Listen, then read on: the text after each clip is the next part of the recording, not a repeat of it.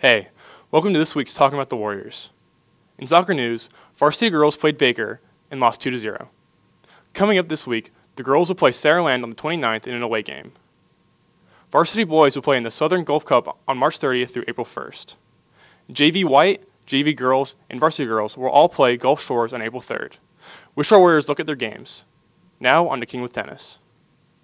Thanks, Harrison. Now on to tennis news. The boys' match against Murphy got rescheduled, but coming up we play MGM. Wednesday for the boys and Thursday for the girls. Good luck, Warriors. Thank you, King, and welcome back to softball news. March 23rd, the girls played BC Rain, and on the 27th, they played Murphy. Coming up this Thursday, the girls will be playing Cottage Hill, so be sure to wish our Lady Warriors good luck. In track news this week, on Thursday the 28th, our boys track team finished second overall. Philip Parker finished second in the Open 800, and Eugene Lawson finished first in shot put. Our girls track team placed third overall, with the distance relay finishing first. We also have a meet on the 31st, the Mobile Challenge of Champions, getting ready for the Mobile County Championship coming up on April 11th through 12th. Cool, that's it. Thanks. In baseball news, the guys' game against Satsuma this week was canceled due to stormy weather. Next week, they begin region play against MGM on Friday, April 7th.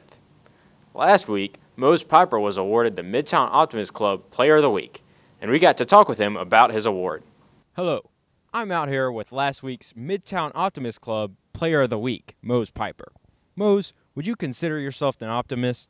Um, yeah, I think you have to in baseball. It's a game of failures, and if you're always looking at the um, the bad side of things and always getting down on yourself, you want to ever have any long-term success. So yeah.